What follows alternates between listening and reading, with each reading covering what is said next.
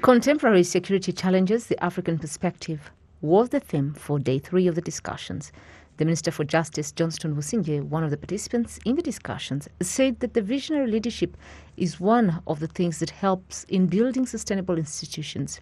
He emphasized that there are other models that could be used to help build institutions, but there is no international law that governs the way in which a country establishes its institutions. There's no universal template for doing institutions. There's, I don't think there is any.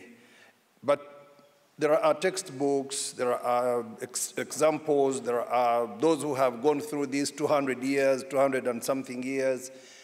Uh, all those are very good research material, they are all good reference material, but there's no universal template for doing uh, whatever institution you want to make. Uh, our own institutions that you asked about, the RRDF, the NISS, the RIB, the, it is absolutely important that we have laws and rules, laws establishing them and rules governing them. Minister Busingye added that these rules and regulations are what helps each level to work with one another while complementing their efforts rather than conflicts.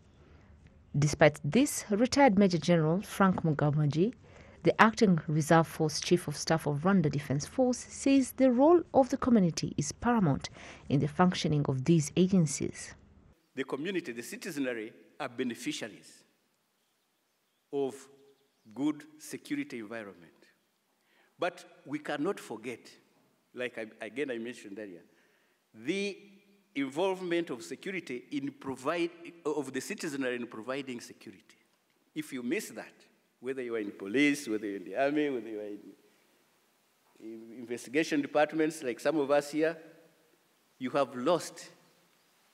In fact, you make it difficult for yourself to. to, to. So, involvement of the community in, prov in, in providing conditions that lead to that security, to a, a stable and security situation, is paramount. After the 1994 liberation of the country, there was only one unit of the RPF in Inkotanyi force in Rwanda. The Rwanda National Police is one of the institutions that was born later. It also collaborates with other institutions according to CP Christopher Bizimungu, Commandant, National Police College. Certainly, we do our job as usual. At the police, we, co we collaborate with RIB. When there is a crime, we support RIB to arrest criminals and they go through the process.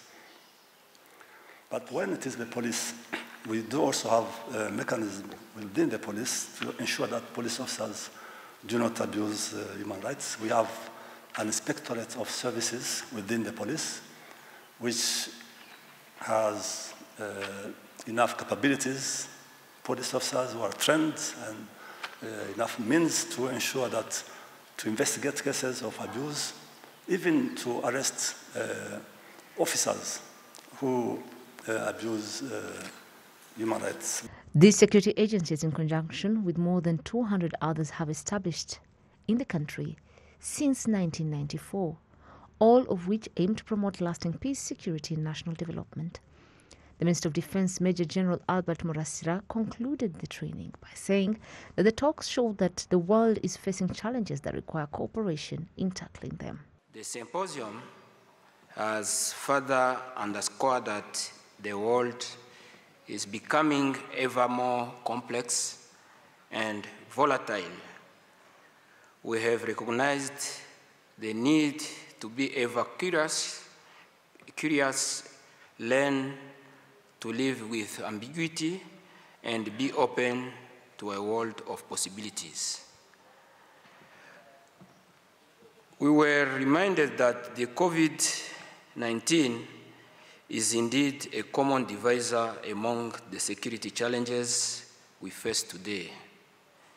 It, is, it has wreaked havoc across the world killing more than 3.3 million people today, devastating families, families and communities, and disrupting economies and political uh, dynamics within and between countries. And yes, the pandemic has revealed fault lines in every country, and we have reason to fear for our future, but also make hard choices to turn around this situation and put our people back on peaceful, healthy, and sustainable path. This year's National Security Symposium, the eighth of its kind, was organized by the Rwanda Defense Force Command and Staff College Nyakinama in Musanze district. The primary purpose of the symposium was to deliberate on the matters of national, regional, and continental security interests.